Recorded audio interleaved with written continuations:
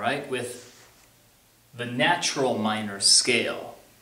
It is similar in some ways to the major scale in that it has uh, particular tendency tones that tend to drive the melody in certain directions. But let's talk about what makes the natural minor scale the natural minor scale. First,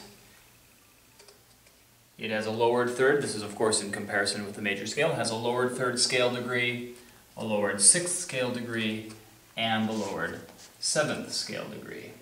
Of course, both ascending and descending. That, of course, changes the uh, solfege syllables. Let's get C minor queued up.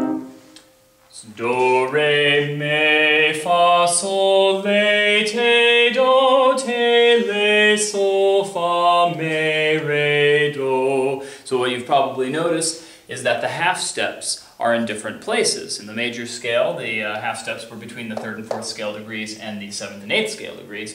In this case, the half steps are between re and me, the second and third scale degrees, and between sol and le, the fifth and sixth scale degrees, uh, and both ascending and descending. And what this does is it changes uh, where the tendency is. Do, re. From me, of course, you can go to fa, but it's very easy to go do, re, mi, re, mi, re, because the uh, half step, the tendency tone is right there. So it's very easy in the minor mode to go right back down or uh, down into other, uh, other registers. Um, uh, similarly, when we go up to sol, le, do, re, mi, fa, sol, le, sol, le, sol. Can go sol, le, te, do easily, but it's very easy to uh, reflect back sol, le, sol, fa, mi, re, do if you choose to. So this is something that uh, is important to listen to when you are uh, performing the natural minor scale or you were listening to the natural minor scale or doing a dictation or a performance of some other kind is that these tendencies also exist um, between the fifth, sixth, uh, the fifth and sixth scale degree and the second and third scale degree.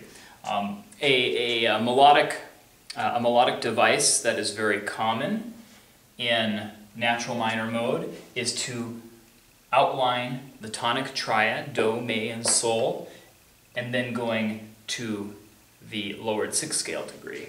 You might recognize this tune from Batman.